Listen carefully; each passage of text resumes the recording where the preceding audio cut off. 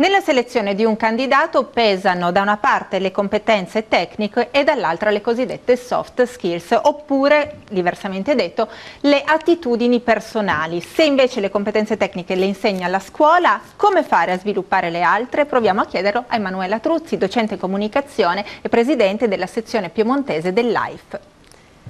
Allora, abbiamo pensato, rispondendo a quelle che sono le aspettative delle aziende, che si lamentano del fatto che i giovani non sono in grado di avere quella flessibilità che tanto invece scrivono nei loro curricula, che è necessario che siano preparati invece ad affrontare poi il mondo delle aziende che è ben diverso. Quindi la flessibilità, il saper lavorare in team e ancora di più anche osare, quindi cercare anche di proporre cose nuove sono tre aspetti fondamentali e sono un po' diciamo eh, la chiave di lettura di questo micromaster che stiamo progettando per il 2016 insieme a due miei colleghi, il dottor Massimiliano Serralunga e la dottoressa Cinzia Garetto, proprio per rendere efficace l'entrare in azienda. Infatti il nome sarà proprio Ready to Work, eh, preparati per entrare in azienda.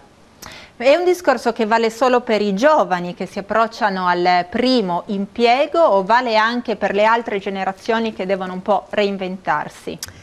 In questo caso il nostro micromaster eh, è rivolto proprio squisitamente ai giovani perché non si rendono ancora conto di cosa sia la realtà aziendale e quali siano le aspettative che l'azienda ha dai candidati che selezionano. Poi un altro discorso invece è quello che si può, uh, si può affrontare con le persone già adulte che già conoscono bene la realtà aziendale e devono sapersi vendere meglio, ma questo è un altro aspetto. Diciamo.